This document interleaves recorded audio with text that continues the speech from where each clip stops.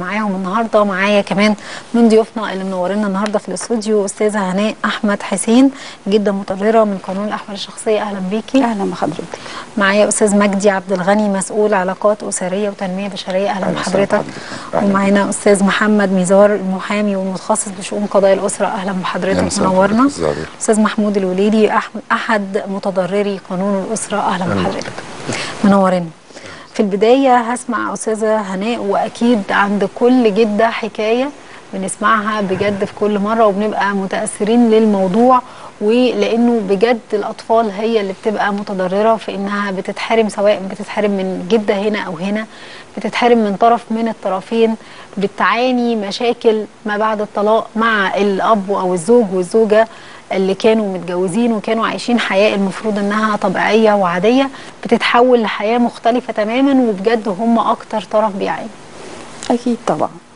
آه أنا هحكي حكايتي كأم الأول. كأم عايزة تفرح بابنها الوحيد وجوزته زي أي ام بتجوز ابنها. وعارفة يعني إيه معاناة شاب يجهز نفسه ويعمل بيت وأسرة وإحنا كأسرة ساعدناه على قد ما نقدر. فبعد الجواز بعد خمس سنين من الجواز منهم ثلاث سنين هو بيعالج الزوجة علشان تخلف أو تجيب أطفال يعني. أول ما خلفت البنت الدنيا اتقلبت 180 درجة. أنا مش عارفة في إيه يعني. آه خدت البنت ومشت وابتدت تفتعل بقى قضايا وتعمل مشاكل كده من غير أي حاجة. كده بدون أي أسباب غير إن هي عايزة تعيش على النمط اللي هي عايزة تعيش بيه في دماغها. يعني فكرة تحمل المسؤولية دي كانت بالنسبة لها عقبة كبيرة. لا أنا كده الحمل تقل عليا. زوج وبنت و... وأسرة وبيت طب أمال أنت حضرتك كنت متجوزة ليه؟ أما كل الأسر بتبنى على هذا الأساس. مم. فابتدت تفتعل مشاكل وبتعمل مشاكل وكمان آه اللي فتح عينيها على المشاكل نموذج آخر من صديقاتها في الشغل عملت نفس الموضوع. خدت النهج بتاع القضايا والمشاكل والمحاكم فهي شافت إن ده إيه ده ده الستات بتعرف تجيب حقها كده؟ الستات بتعرف تاخد حقها بالطريقة دي؟ يلا جوه طب وحياتها فين؟ ما بصتش لا لا هي طب هي عايزة أقول بس إنه في أي حوار بنفتحه هنا أو أي طرف بيتكلم فللطرف الثاني حق الرد في أي وقت طبعا.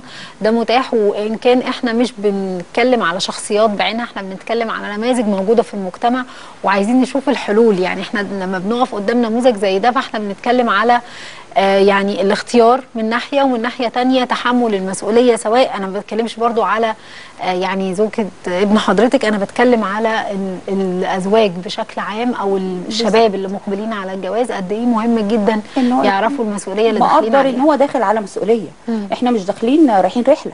إحنا رايحين نتجوز ونفتح بيت ونجيب أطفال ونربي ونكبر ونعلم. لكن مع أول تقل المسؤوليه اللي هي ما كانتش لسه ده لسه كانت البنت سنة يعني. فمع أول خلاف بينهم على برضو المسؤوليات دي لا هي قررت هي مش عايزة تعيش مش عايزة تكمل. طب خلاص نتفاوض نتكلم نتكلم بالحسنى. لا الكلام مع المحامي. على طول؟ على طول. الكلام مع المحامي. حضرتك مش لاقيه حد تكلميه مش لاقيه حد راجل يعني مع مؤاخذة يعني مع احترامي لكل السيدات على راسي. آه أنا جيت خدتها من بيت كان في راجل قاعد بيكلمني. ما لقيتش حد أتكلم معاه. طب الكلام مع المحامي. ابتدى المحامي رحنا المحامي نتكلم معاه ابتدى المحامي بقى المساومات بقى ولا ادفعوا كذا لا اعملوا كذا لا. طيب انت عايزة إيه؟ أنا عايزة كامل حقوقي. طيب على راسنا خدي كامل حقوقي لا بالمحكمة بقى. اللي هي فكرة تعنت وعند. مش أكتر. يعني أنا كل حقوقها عرضتها لها بما يرضي الله. طب إيه اللي هيخلي حد يرفض؟ يعني مع احترامي طبعا ومصدقة حضرتك وكل حاجة بس لو أي حد بيسمعنا هيقول ليه آه أي طرف تاني يرفض إنه ياخد حقوقه بدون محاكم. ما هو لو الطرف عايز حقوقه بس لكن هو عايز فوق حقوقه. آه. هو عايز فوق حقوقه ففوق حقوقك ليه؟ عشان إيه؟ مم. بالاخص ان هو عمل إيه؟ يعني هو الزوج لما نقعد كده عمل لك إيه؟ طب اقعدي اتكلمي. انت مش لاقية حد تتكلمي معاه. أنتوا ما كنتوش عايزين طلاق أصلا؟ خالص اطلاقا اطلاقا. مم. إحنا قعدنا سنة ونص في المحاكم وبعد السنة ونص طلقنا بقى خلاص. يعني الدنيا راحة في الأسوأ. مم. الأمور راحة في الأسوأ. طيب نشوف بقى البنت. لا ما فيش شوف للبنت. عملنا رؤية. ما فيش رؤية بتتنفذ.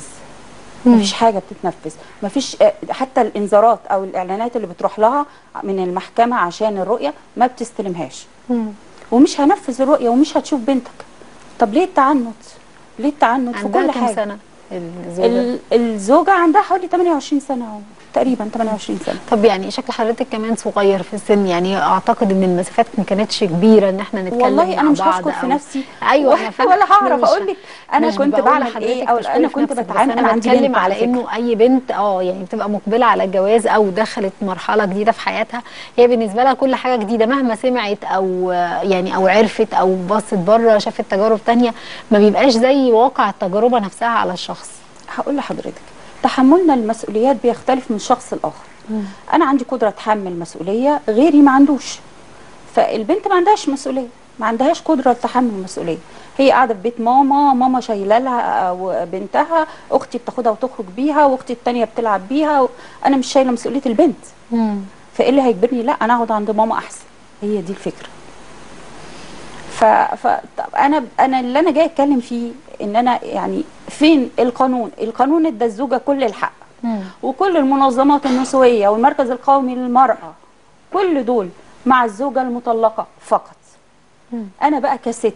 مش أنا ست أهو أنا كست وجدة. حقي فين؟ أنا عايزة أشوف حفيدتي. طب أنا بدون دفاع عن يعني عن المنظمات أو عن المجلس طبعا المجلس ليه حق الرد وكل زي ما قلت في البداية إنه أي حد ليه حق الرد علينا.